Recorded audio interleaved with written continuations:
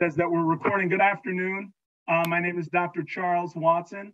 Uh, my PhD is in philosophy and humanities. I'm also the program coordinator for African American Education Empowerment, uh, also known as AME. And we want to welcome you to our first uh, E&I Hangout with. And over the next hour, uh, we're going to uh, allow you to hang out with an argument in defense of Black History Month. and I'm just going to dive in. Uh, I've got a PowerPoint presentation uh, that I'll share. So I'm going to start sharing the screen. Uh, share. Okay, bet. And let's see if I can make it get to the show. Okay, there's that. And I'm going to make the little screen box a little smaller. So, and then where's the little, okay, so then I can advance it. Okay, bet. Uh, uh, can you all uh, see uh, the PowerPoint presentation? Nod your head or someone shout me out. Is it good?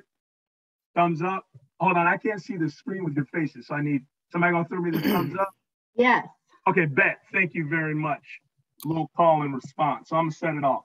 An argument in defense of Black History Month. See if I can move the transcription screen so I can see all of this. That argument in defense of Black History Month. Dr. Charles H. Watson. Okay, where's the? Okay, that was the next. Hold on, let me see. Okay, okay, there's the screen. Okay, uh, next slide. Uh, I want to say something about our learning outcomes. Uh, one, to bring from concealment the unasked question. Uh, I gotta move these screens around. The unasked question posed by calls of why the need for a Black History Month. Two, to articulate an epistemology of embodied historical trauma and a theory of collective identity. Three, to demonstrate the study of Black history as empathy operationalized and strategy for unlearning miseducation. And then fourth, uh, to illustrate how empathy, what I understand as the movement of kinetic inclusion, uh, which might be a theme for another talk, uh, collapses the distance between self and other, thereby disclosing the invisible inner law, which is a reference to an idea from King that we may talk more about. See if I can get the screen back up to advance to the next slide. Okay. Uh, to bring out from concealment the unasked question posed by calls of why the need, all this stuff on the screen, why the need for Black History Month. The origin story of Black History Month inevitably leads to Carter G. Woodson. So if nothing else, that's a concrete takeaway, a historical figure we should all know a little about. Carter G. Woodson. As historians have tried to pinpoint Woodson's initial reason for creating the week-long observance, the week-long observance, uh, many agree that a negative interaction at Harvard University played a critical role in its creation. Woodson shared with a colleague that one of his professors at Harvard during a class lecture made the statement that, and this is a quote from the Harvard professor from that platform of classroom instruction, quote, the Negro has no history, end quote. Woodson is said to have challenged his professor by saying, quote, no people lacked a history. His professor, Edwards Channing, challenged Woodson to prove him wrong. Woodson chose to devote his life and genius to discovering missing pages of history, the facts about achievement and heroism of Black people, the history of America that had been left out of the one sided, white oriented school text. The Harvard professor denies existence of history of a people Woodson knows to exist in virtue of his own experience. The ever unasked question, as framed by Du Bois in Souls of Black Folk, is how does it feel to be a problem? That's a reference from Du Bois. The experience of being a problem to solve, an object of study, shows itself in the ceaseless questioning dare I say, scrutiny of Black identity and racial group membership. Peoplehood is called into question by the denial of history.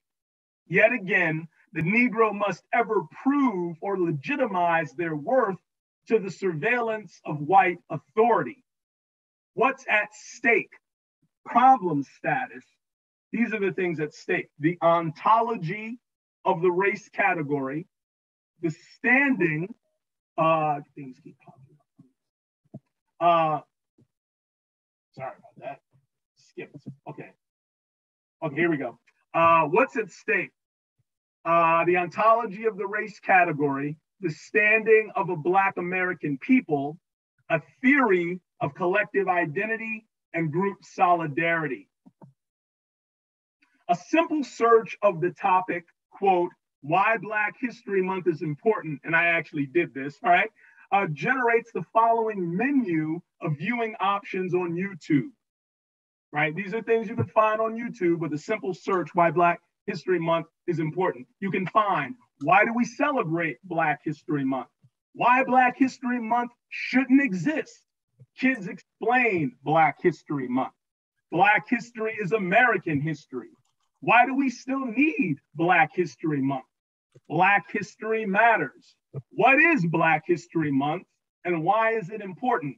We need to get rid of Black History Month. Oh man, this thing is all in the way. Let's see if I can move this. Uh, can't see the top of the screen. Sorry about that. Uh, Harvard professor, let's see, how can I get the screen? So hold on, I might have to get out of this mode so I can see it. Okay, um, Harvard professor's denial equals the workings of cultural imperialism. That was the top of the screen that I couldn't see. We'll get back. Okay, back. Harvard professor's denial is equivalent to a version of cultural imperialism. Um, this is a quote from Iris Young. Uh, to experience cultural imperialism means to experience how the dominant meanings of a society render the particular perspective of one's own group invisible at the same time as they stereotype one's group and mark it out as the other. Cultural imperialism involves the universalization of a dominant group's experience and culture and its establishment as the norm. The culturally dominated undergo a paradoxical oppression in that they are both marked out by stereotypes and at the same time rendered invisible. As remarkable, deviant beings, the culturally imperialized are stamped with an essence the stereotypes confine them to a nature which is often attached in some way to their bodies and which thus cannot easily be denied. Cultural imperialism involves the paradox of experiencing oneself as invisible at the same time that one is marked out as different. The invisibility comes about when dominant groups fail to recognize the perspective embodied in their cultural expressions as a perspective. And this was from Iris Young. Let's try to get to the next slide now. Okay, so am I doing this right? Back. Oh, Technology. Okay. I want, uh, so we already did this slide. Share that again. Okay, now next slide. The Harvard press professor's denial executes two distinct agendas. So, in that claim that the Negro has no history, the Harvard professor's denial executes two distinct agendas the denigration of Woodson and the supremacy of what I call the normative white gaze. These two agendas are embodied, and I'm going to return to these themes of both disfigurement and asymmetry. Disfigurement tracks nicely with those that know Resmaa's work around uh, embodied trauma, what is sort of captured in and on the body. We'll say more about that. And then the asymmetry is the growing space between Woodson and the instructor, both vertically, superiority and inferiority, but also, dare I say, longitudinally, that is to say, the conditions for genuine dialogue are not present because there is no mutuality and reciprocity in that context of asymmetry. So there are two agendas, right? Um, the denigration of Woodson, the supremacy of the normative white gaze. These two agendas are embodied, disfigurement and asymmetry. Time is worn upon the body. We'll say more about time in a minute, and the body remembers its scars. I can get to the next slide. Uh, so now this is a, a quote from uh, King. Uh, you can see the reference at the bottom. I'm trying to move things around so I can see it. Okay. Um, this is the ultimate tragedy of segregation.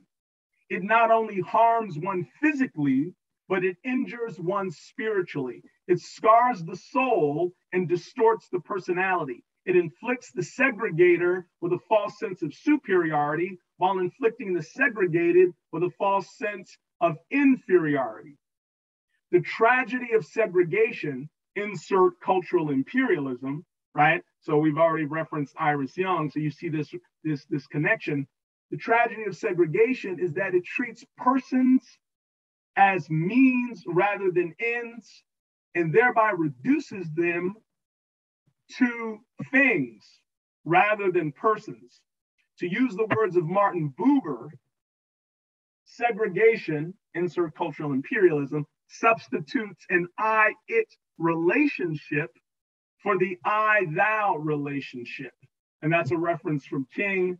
Uh, it shows up in two locations in 58 and 62. You see the two essays. Okay, next. Um, uh, to move into the next learning goal, to articulate an epistemology of embodied historical trauma and a theory of collective identity. I want to make sure I'm on track with slides.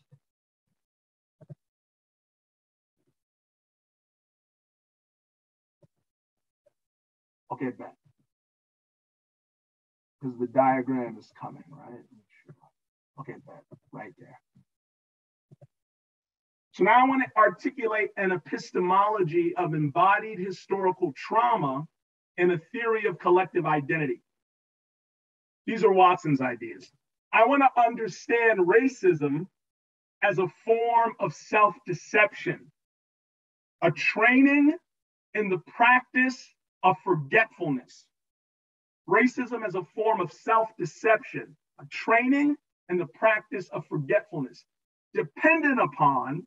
So, this training and the practice of forgetfulness is dependent upon the objectification, subordination, and exclusion that correspond with faith and opposite values, violating the worth of human personality, turning persons into things and substituting price for dignity. This is King's understanding of how Kant's categorical imperative is violated, right?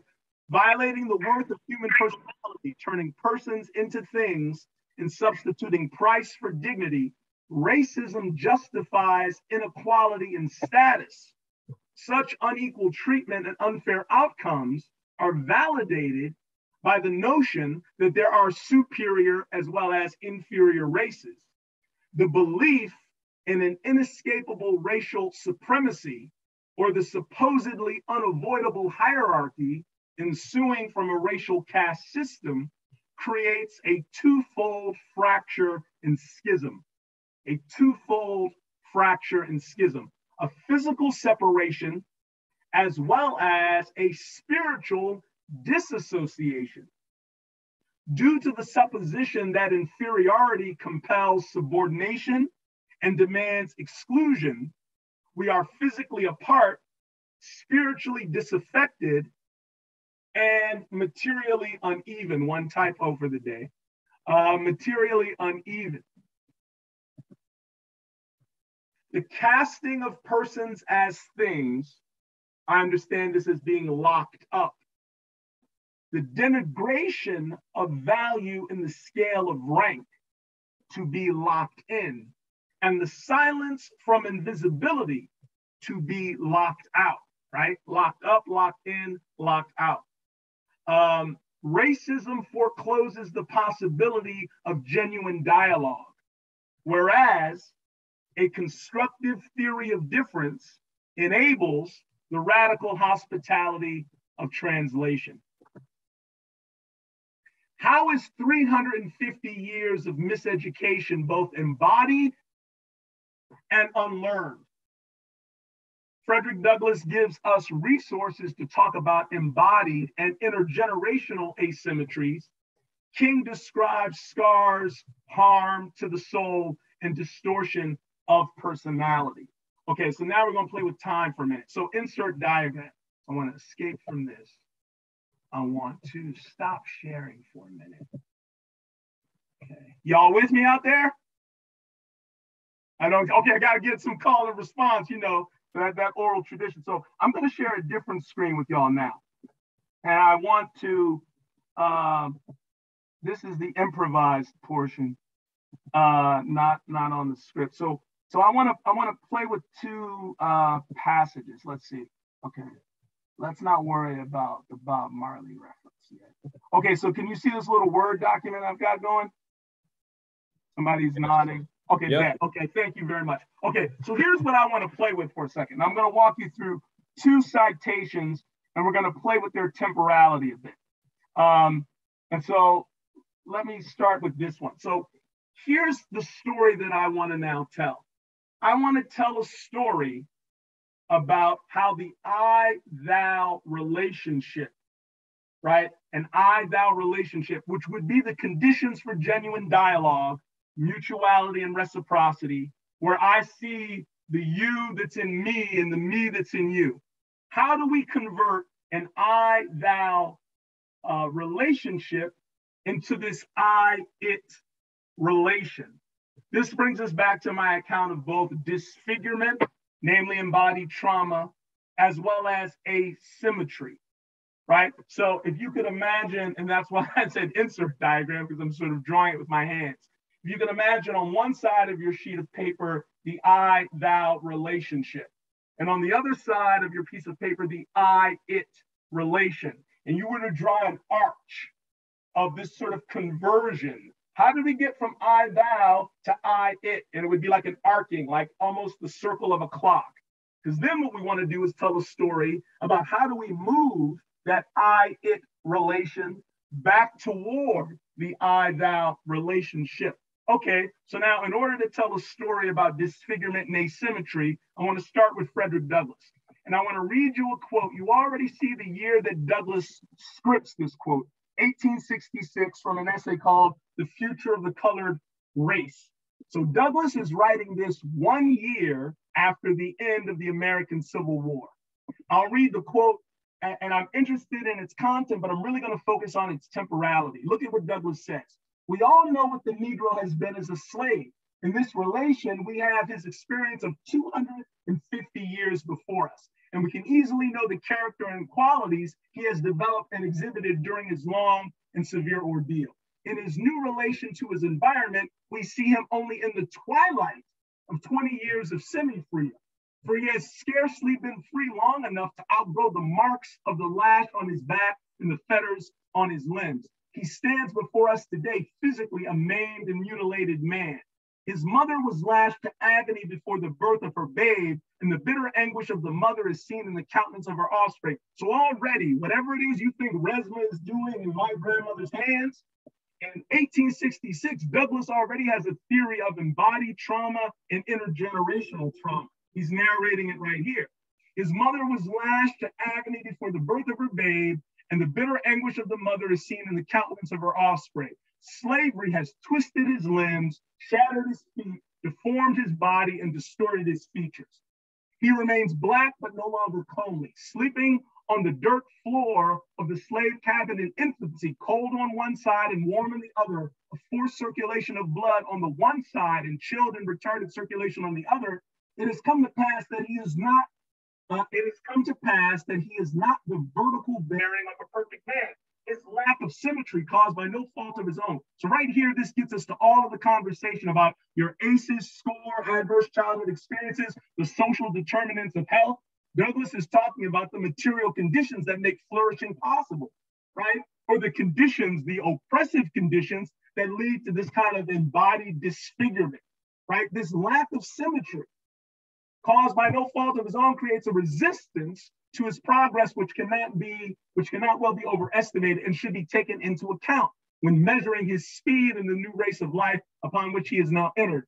As I've often said before, we should not measure the Negro from the heights with which the white race has attained, but from the depths from which he has come. Okay, so let's sit with this for a second. The content is rich. I want to play with the temporality of it. So Douglass is writing in 1866, some simple math, I'm not doing any sophisticated math. He's writing in 1866. We say we know what this experience has been for 250 years. 1866, right? Minus 250 gives you 1616. So that would be Douglass's origin date. So let's hold on to that.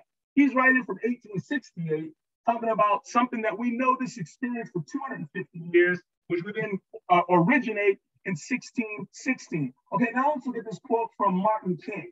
King is writing this in 1968 in a chapter from Where Do We Go From Here, Chaos of Community. The chapter is called The Dilemma of Negro Americans. And look at what King says. After 348 years, racial injustice is still the Negro's burden and America's shame. Yet, for his own inner health and outer functioning, the Negro is called upon to be as resourceful, as productive, and as responsible as those who have not known such oppression and exploitation. This is the Negro's dilemma. He who starts behind in a race must forever remain behind and run faster than the man in front. What a dilemma. It is a call to do the impossible. It is enough to cause the Negro, Negro to give up in despair. So if you take 1968 and then you subtract uh, 348 years, that would give you 1620 as King's origin date, right? So that's within the margin of error, 1660. On one hand, 1620. Okay, so now, even if you were to be optimistic enough to say, well, but something gets solved in 1968, which I don't think, um, I, I don't want to call anyone naive, right? But I, I think that would be a hard pressed claim to defend so we then move from 1968 to the current date, 2022. That would be an additional 54 years. And if you added that to 1968, that would bring the total to 402. And then famously, the, the Bob Marley and the Wailers write a song called 400 Years. I'm not playing with the temporality of that because then you can ask, well, what year is Marley writing that? And then that gets us to a story about Jamaica's history. And just sit with me for a second and say, okay, let's take as this ballpark number, remember that I thou to the I it, right? Because between 1968 and now, right, in terms of benchmarks, at least these are the moments that I saw fit to call out. The Rodney King beating happens in 1991. Cornel West publishes Race Matters in 1994 and sort of dedicates his work on that to the Rodney King incident. Certainly, we know George Floyd was murdered May 25th, 2020. Uh, we haven't, it's not been two years since that. And that's just organizing this discourse about um, locked up, locked in, locked out through the lens of violence against Black bodies. There are any number of other ways we could slice that up. Racial health disparities, um, you know, uh, uh, you know, looking at um, uh, house ownership, uh, employment, education. There's so many ways to make the argument that empirically we're still within that frame, right? So if you buy me at least on the 400 year number, keep the math simple. A generation is understood to be anywhere from 20 to 30 years. So let's take 25 years to keep the math simple. 400, right? If you divide that by 25, that's 16 generations. 16. Sit with that. I, I can stop sharing my screen for a minute because I did what I want to do with the text. 16 generations of this movement from the I thou to the I it. 16 generations. So whatever we think we did in a 10 year window or 20, right? 16 generations of this disfigurement harms the soul, scars personality, as well as asymmetry. So that's what I want you to sort of imagine in that insert diagram box, right? That this story I'm trying to tell about this arc of movement from I thou to I it and now we want to tell a story about, well, how do we move the I it back toward the I thou? Certainly nothing that any of us could think might easily be achieved in any one of our lifetimes when we're working against 16 generations, right? Um, the point that I want to make to get back to the PowerPoint slides, um, famously Carter G. Woodson uh, uh, writes, uh, what is it, 1931, 1932, no later than 33, the miseducation of the Negro. Um, and so um, the question that I always like to pose is, how do we unlearn this miseducation? And my answer, which brings us back to the PowerPoint slides, is we have to learn to remember what we're trained to forget. Remember, racism is a training in oblivion, training in forgetfulness. So if you want to undo the Jim and Jane Crow miseducation, we then have to learn to remember the things that we're trained to forget in our Black History Month. So now let me get back to the slides. Okay, so that was my effort at the insert diagram bit. How am I doing on time? Okay, we're okay. So let's keep pushing. Here we go. We must learn to remember the things we are trained to forget, and racism is a training in forgetfulness. This answers a fundamental concern of my normative project. Why does the participation or experience of difference matter? Alternative values, alternating voices, and alterations of viewpoint. What useful functions and constructive purposes might the participation or experience of difference serve? Interruption, halting the work of systems to bring their operation out from concealment.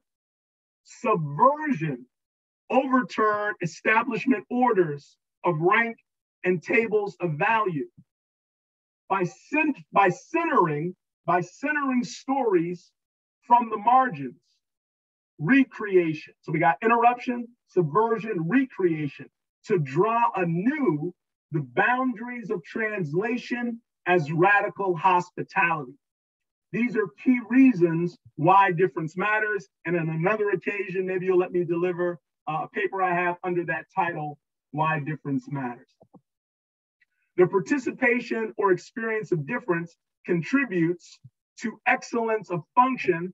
I mean this in a, an Aristotelian sense, in three key ways. Cognitively, how we change our minds, grow to understand new truths, and stay woke to the threat of self deception.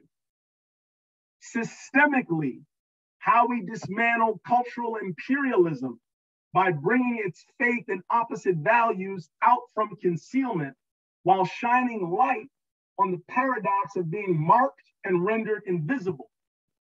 Relationally, how we recover, recollect, or recollect, how we recover, recollect, or draw again the boundaries for genuine dialogue.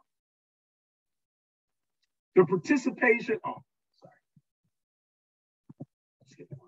The participation or experience of difference is kinetic inclusion, a complementary rather than oppositional or binary theory of difference. Kinetic inclusion closes the space. Remember that I thou to I it relationship is all, all about this asymmetry and the distance between self and other. Kinetic inclusion closes the space between self and other, cultivating the moral sentiment of empathy by disclosing that by disclosing the you that's in me and revealing the me found in you. And this brings us back to King on the inner invisible law. Black History Month exemplifies kinetic inclusion as the way of creative protest. And for those that have heard me speak during our MLK Day activities, particularly last year, you know how central this concept of creative protest is for both me and King. To question the legitimacy of a people's story of accomplishment and contribution, and whether it's worthy of recognition and celebration, Black History Month resolves any dispute about justification.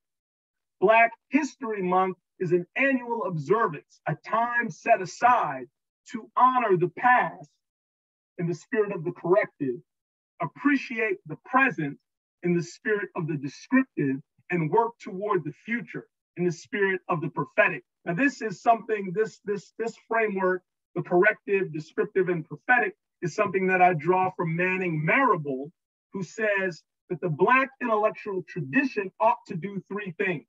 It ought to be corrective, right? Correcting not only uh, falsity, but also omission. It ought to be descriptive, right? To tell a story about the current experience and predicament of a people. That's the presentist value of it. But it also need to be prophetic, which is in the spirit of social justice, right? Working toward the future. Uh, the observance of Black History Month does all these three things. Dr. Carter G. Woodson is known as the father of Black history, and for good reason. He took it upon himself to write Black people into American history and championed the idea that Black people should know their own history.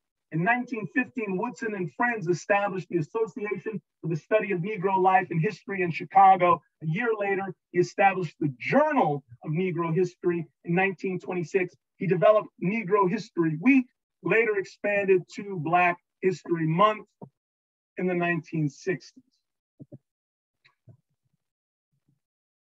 Black History Month is a concrete expression of heritage, an opportunity to promote cultural awareness, and an example of everyday resistance by claiming pride in collective accomplishments.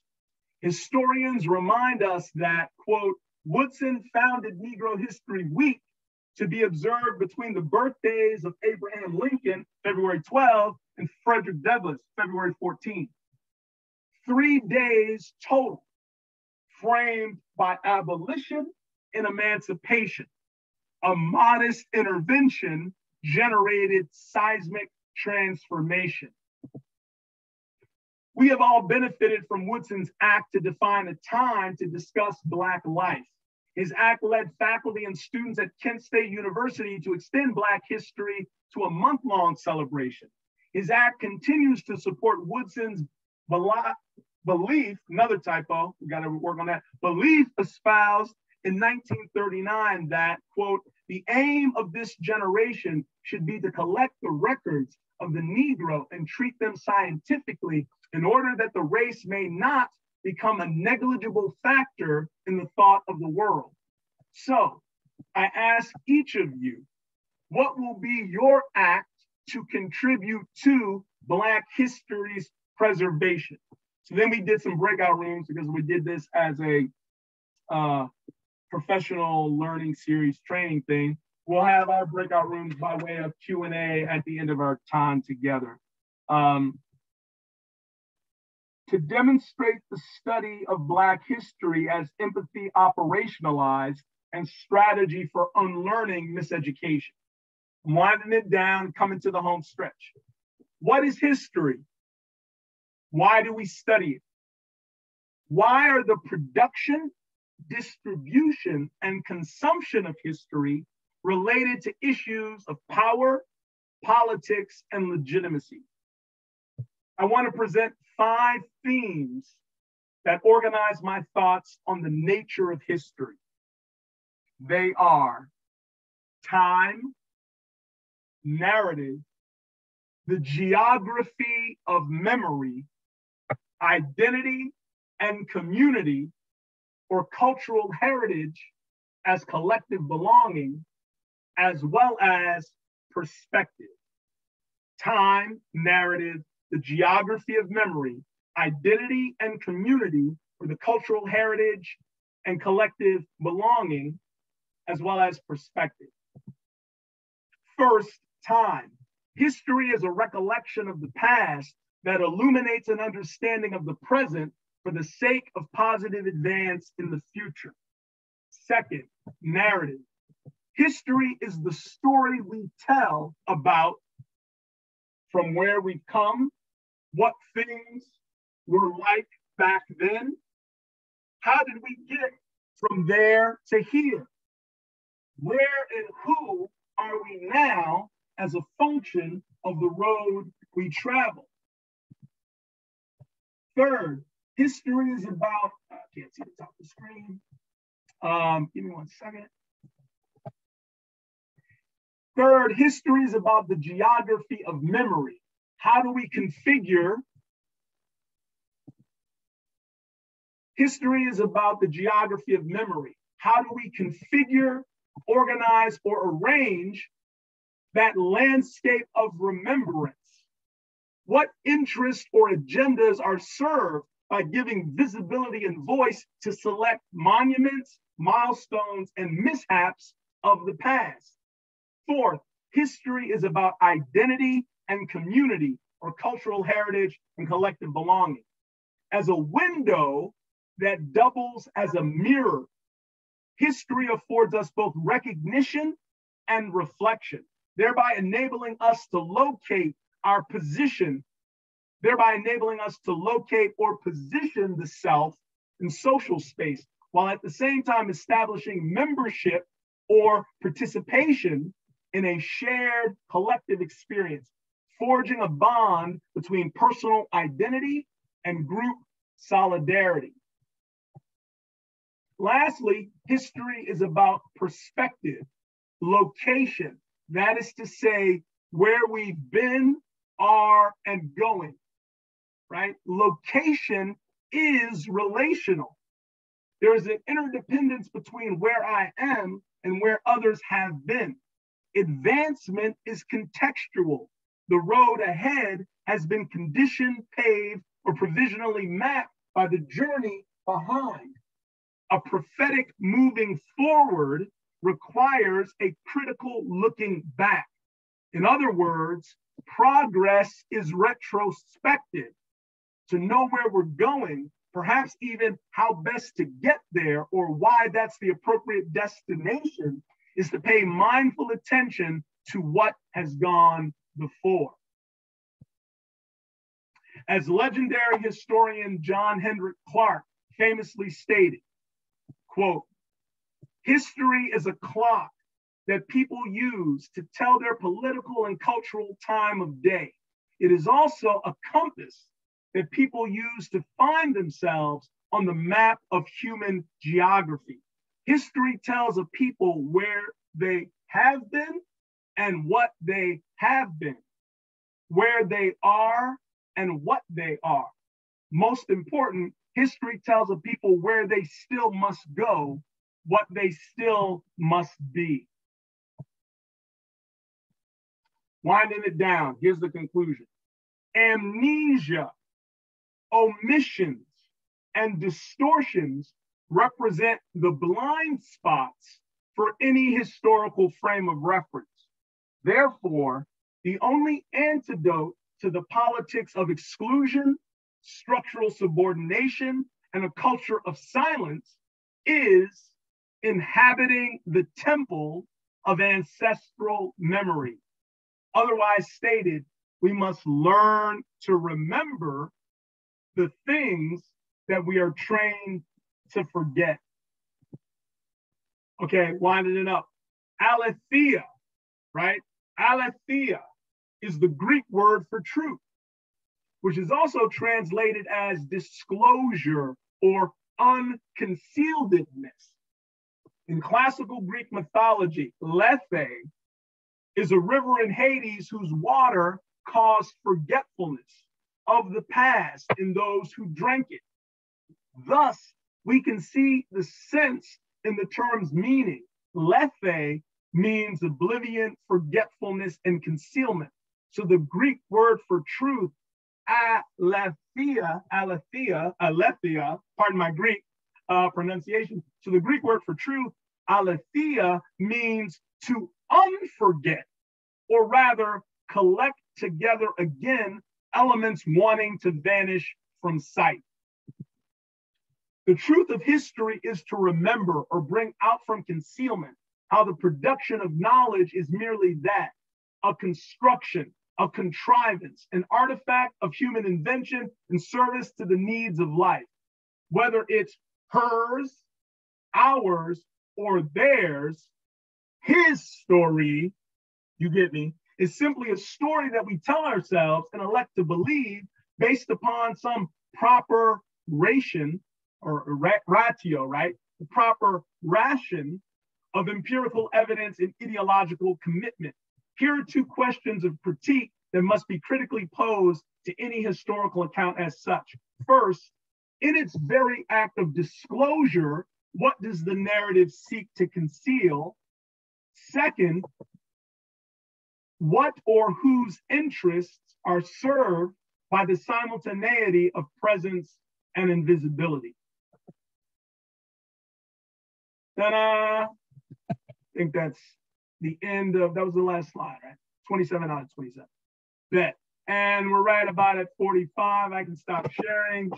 Those are my prepared remarks uh, in the spirit of offering an argument in defense of Black History Month. Hope you can see there are many moving parts to the position. Uh, I will now uh, pause, catch a breath, and open up the floor for question, comment, discussion. Uh, as I would do uh, when I would uh, host our AME spotlights, uh, I guess now I'm on the hot seat. I would invite you to unmute yourself, share whatever comment or, or, thought or question or elaboration you'd like, and then give me a chance to do something with it. And if I'm unable to, I will respectfully pass. So I, I turn the floor to the audience. Thank you.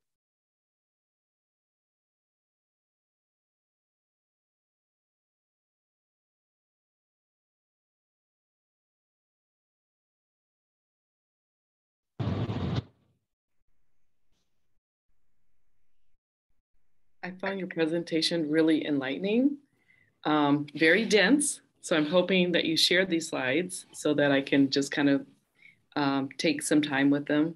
But I, I really found it, um, the presentation to be enlightening. Thank you. Thank you. I appreciate that. I agree, and my um, sentiments are likewise. You, it actually resonated with me. I thought about the quote, um, I believe it's Maya, Dr. Maya Angelou, who once said that history, despite its wrenching pain, if gone unknown, will be relived, lived again. And so it really, that really resonated uh, with me. I recently picked up my copy of um, The Miseducation of the Negro to reread. And so I really appreciate your presentation. Thank you very much. Thank you very much. Um, I, I, would like to say that um, I'm a member of St. Mark's Episcopal Cathedral, and we are in the middle of, well, actually started um, the Circle of the Beloved, and we're reading the book, The Church Cracked Open, and it discusses how the Episcopal Church systematically supported slavery and how there were people within it who spoke up um, against that. And so now, because Bishop Curry um, and our Minnesota Bishop Loya are both pushing for laity um, outreach and to do the things you're mentioning, establish relationships. This is so important. And I'm happy to be a part of it. I'm um, friends with a, a woman who uh, was a scholar at Minneapolis College. She's about to graduate from um, Metro State, and she's pursuing a criminal justice degree for uh, being a pro, probation officer for women's incarceration. And women typically get much more severe sentences than men do, even though they are you know, strike back at the people that are beating them up uh, and even kill them. But nope, they get uh, much punished much harder. So uh, I, like to suggest her story is also um, something we need to look at. And, and this whole white supremacy thing where you're, this is okay and everybody else is not okay. And uh, I've always been an outsider. My mother was the teacher of everybody that all the other teachers crashed in a faculty lounge. And so I grew up with this celebrate differences and bring out the, the, um, the abilities of your students. And I, I teach at Anoka Ramsey Community College. And um, I've, I've seen students grow and develop when they are believed in. And so that's my mission right now is to continue to make these connections. Uh, St. Mark's has a, Lionheart Scholarship Program with Minneapolis College that gives scholarships to homeless and first generation students. But all they do is write checks. And so I I want to see them get in there and be friends like I am with my friend Delia.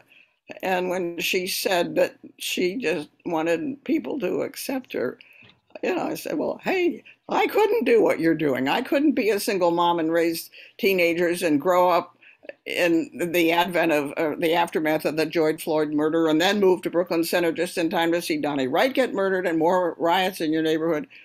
I can be behind you. And, and I, so we've gotten to be very good friends. But it isn't just a matter of the white lady helping the black lady up. It's she's helping me too, because I'm a widow. I live alone. So we just send each other encouraging emails every day. And that's the little bit I can do. I'm too chicken to go march, but I can be in the background helping people believe in themselves and get where they're going. So I'm very, very grateful for the vulnerability you've put on display and your sharing. Uh, I can hear the deep well springs of compassion from you. I want to shout out our upcoming uh, Women's History Month celebration. Don't want to unveil our theme just yet. Uh, my colleague in American Indian Success, Brooke Hornseth, and I, uh, along um, uh, with our colleague uh, uh, in the uh, Lucha program. Um, we're working together to get together the programming for Women's History Month, which is in March. So I want to shout that out in terms of that acknowledgement of her story. And so please be on the lookout uh, for our programming in March to get after exactly the topic. There were a few things I wanted to quickly respond to in the comment, then we'll, we'll, we'll, certainly, and I'm willing to hang out for as long as, as, as folk are inclined to. I know we're, we're framed to an hour. So there were a couple things that struck me. Um, one, I want to underscore again the power of what I'm calling kinetic inclusion, right? This ability for interruption, subversion, and recreation. One, and, and I like sort of classical frames. One uh, frame introduced by Simone de Beauvoir and her introduction to the second sex, she famously talks about the relationship between the one, right, and the other, right, the center and the margin, right? And the way you can sort of imagine this, right, whether you want a circle with the center and, and right into the edge, right, out to the, the, the radius, or even the notion of a donut hole, right? That there's a kind of a center and then there's the sort of the margin. And what I mean by this uh, cultural imperialism's commitment to opposite values, binary opposition, is there is no alteration or alternation. There is no passing of the mic. The one or the center is set and the margin is permanently excluded. That brings us to this disfigurement and asymmetry I was talking about. So the minute that you see the power of kinetic inclusion, you're interrupting, subverting, disrupting, and recreating, right, that distance between margin and center.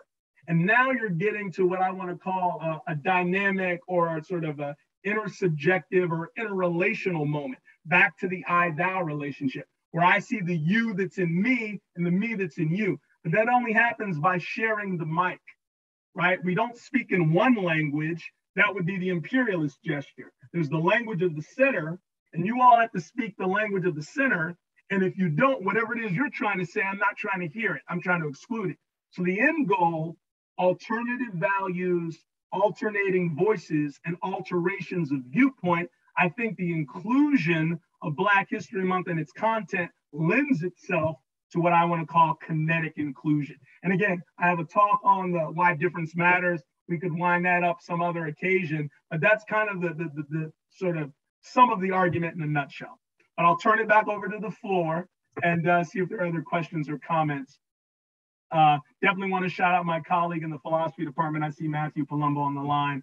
Matthew, if you want to dive in or, or get at it, I, am you know, where, you know, the, the, floor, not to put any pressure on you, uh, uh, brother, but, you know, I just, just wanted to, I, I know you're there and want to always shout out the philosophers.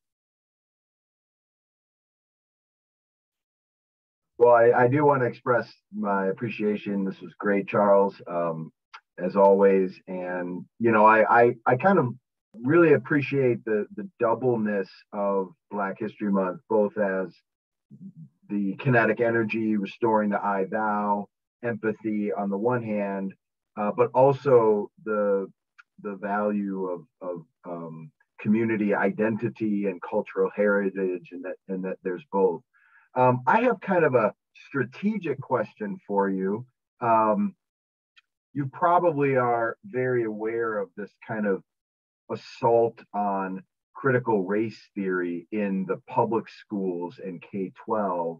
Uh, and you know it's it's pretty obvious that this is a, a, a, very ideological move. But I'm I'm kind of wondering your thoughts on where and how Black History Month plays into that. I mean, is that a kind of you know also assault on Black History uh, Month? Can Black History Month be a way of uh, can, can we can we draw on how you talk about Black history as a counter to uh, that that um, assault on critical race theory, which ends up being a kind of um, critique of any critique of the center, right? Like so. Right. Right. I'm just kind of mm-hmm. wondering your your thoughts and whether you've kind of made that connection between Black History Month and that growing assault uh, that we we hear a lot about.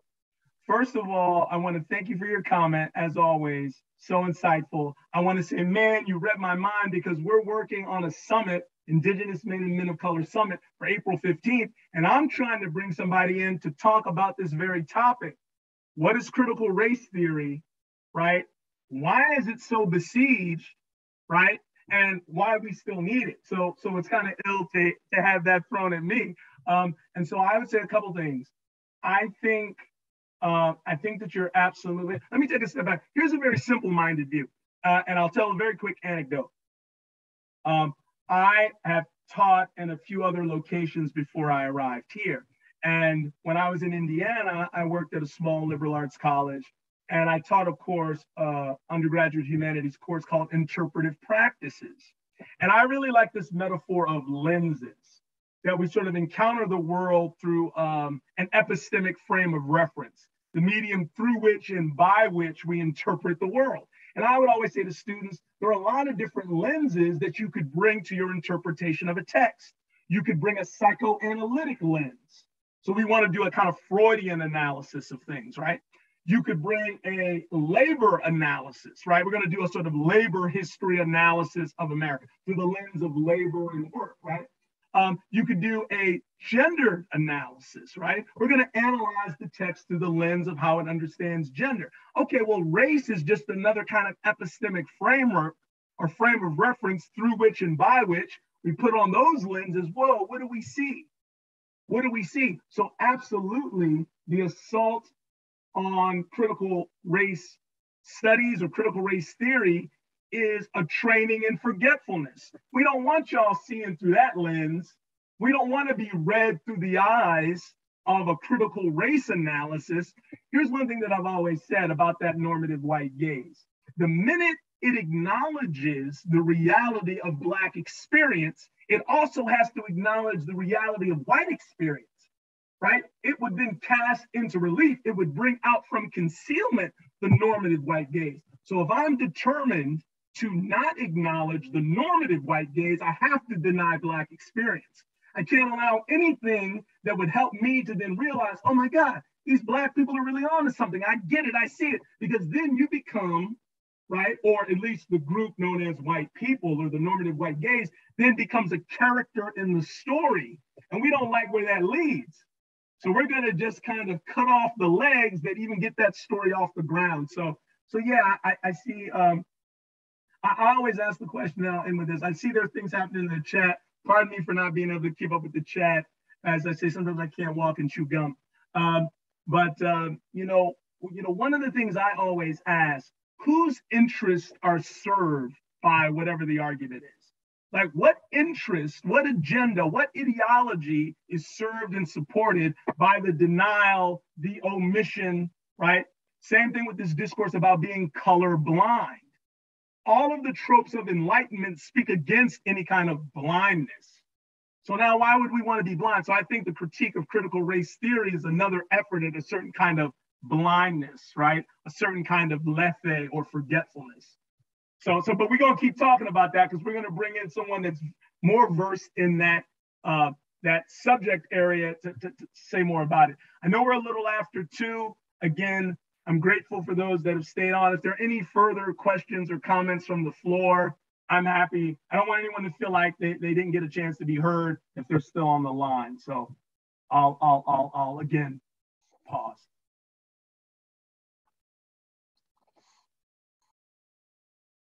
Dr. Watson, I'm going to throw a question out to you. My name is Phil Gwolke. Thank you so much for your uh, insights today. Really value uh, the body of work that I'm sure represents years of research uh, pulled into 45 minutes of content. Thank you. My question is uh, I'm really intrigued when you talked about 16 generations of experience.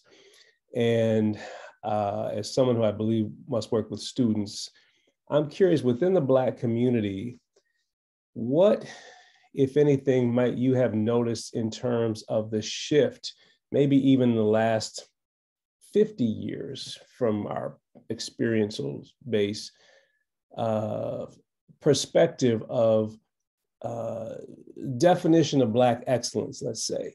You know, as a community, we have this sh- shared experience that goes back 16 uh, generations, as you described. But you know, I'm curious when it comes to young people today versus, you know, people who are say in their 30s and 40s versus 50s and 60s versus maybe 70s and beyond. How how is this being perceived? What's going on from one generation to the next uh, in our living communities? That's an excellent question. Thank you for throwing that at me, Phil. And in the spirit of what I can accomplish in 45 minutes, I definitely can't cover sort of 16 generations of right. But but here's here's my immediate reaction to what you're saying. Um, so and again, by way of an anecdote, because as a guy that's in higher education, also something, and again, for those that need to drop off the call, I respect that. I'm grateful for those that are hanging out. I'll hang out until whatever comment or question is heard. Um, so um, I uh, last semester did a virtual talk show called AME Spotlights. And we did it for about 15 weeks. We brought people from all different kinds of walks of life and experience and to sort of share their stories. One question that I asked everybody in the opening was um, What role did education play in your upbringing? And what I noticed was that there was consistently two varieties of answer. Either it was mommy and daddy demanded it of me. It was a parental requirement. It was a parental expectation. They'd say, I didn't get any rewards for getting A's because that was expected. Or the answer was education was seen as a way out, as liberatory, as emancipatory in service to, hey man, I was in a situation I didn't want to be anymore and I wanted to get out. And I saw my book learning, my educational pursuit as the way to get to a better life for me as well as for my family. So I wonder if the current generation, and we're going to do a, a, breakout session on this at our uh, Indigenous Men and Men of Color Summit, circle your calendars, uh, April 15th, um, on the value of higher education. Because remember in Douglass's slave narrative, right? Whatever it was the master was trying to keep from him, that's what he wanted. And Douglass heard the master, Thomas Auld, say, I think mm-hmm. the wife's name was Mary, that, oh, you yep. can't teach him to read and write. That will unfit him to be a slave. So Douglas was like, that's exactly the thing I want to go for. So the question is education still emancipation? I wonder if that view is still held. Mm-hmm. So there, there are two things that I wonder about in the current generation. What's the parental influence? To what extent are mommy and daddy saying this is a must, this is a requirement, this is a value, the household is built on this. I didn't get it, but I'm going to make sure you get it, whatever. Or are they convinced that study, education, higher learning is really the pathway to liberation? I, I, I don't know if those values still hold. So mm-hmm. that then frustrates or problematizes a discourse around Black excellence. Because respectfully, I'm no social media expert, but there's a kind of immediacy and quickness that, hey, I could be a YouTube influencer or make a 15 second TikTok, whatever, you get what I'm saying. And the quickness with which you, you think you could sort of show up, well, then why would I go to college for four years or, or that kind of worry? So I think that for me would be a centerpiece frustration in terms of that shift, whether or not uh, uh, those values that once anchored us mm-hmm. continue to anchor us.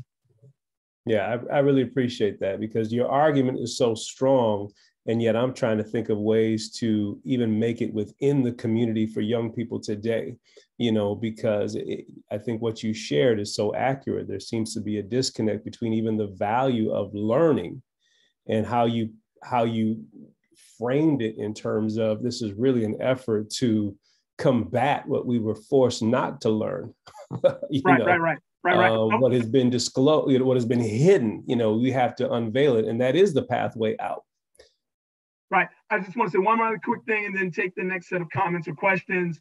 You know let, let's think that we'll hang out you know at least i'll, I'll, I'll stay at least until 2.15 so if anybody else wants to bounce i get it. Um, one thing that's interesting about the discourse about thank you uh, about the discourse around excellence i think about that in an aristotelian sense. For, for Aristotle, excellence is about flourishing. It's about performing one's function well. And so then the question becomes, what are the conditions for the possibility of flourishing mm-hmm. for what Aristotle will call the health of the soul? And what role does education play, right, as a sort of nutrient in the achievement of that flourishing, that excellence of performance, that outcome, to live well, to do well? That's what Aristotle means by eudaimonia or happiness. I'll take one step back and then I'll entertain other comments and then we can be winding it down. One thing that I so often hear, and I grew up in Baltimore, Maryland, and I grew up in a place where, for many people, they're born, raised, live, die on the block. The block is the limit of their horizon. That's the limit of their world. So, so much of what we need to do is open up the horizon of possibility. Because what structural inequality wants to do is lock us in the box, locked up, locked in, locked out. You're limited to only this. So if we can just expand the horizon of possibility. The thing that I'm going to be talking about to a group of Hopkins, uh, uh, uh, Brooke and I will be this coming Friday, a group of Hopkins high school students that are going to come to campus. I'm going to challenge them to dare to dream. Dare to dream because I think that is another crisis. It's a crisis of imagination because you can't even entertain alternative possibilities to what it is you're locked into. And I think that's what the study of Black history can afford, right? It's this narrative exemplification of striving in the context of adverse circumstances. Because there's no way to think that anybody in the sort of pantheon of historical figures had an easier situation or more available resources than we currently do, and yet they persevered. I used the Langston Hughes poem, Mother to Son.